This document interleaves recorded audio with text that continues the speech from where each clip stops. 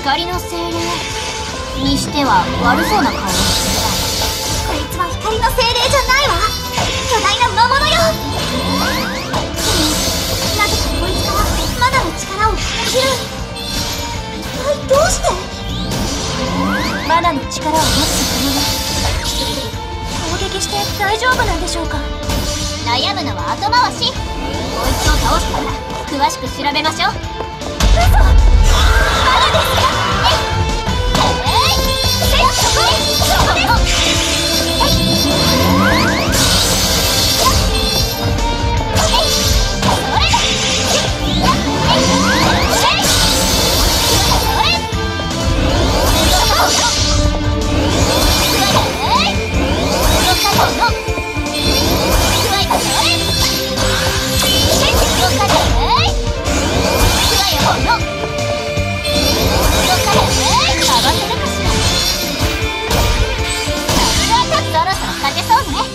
早くとどめを刺しましょう。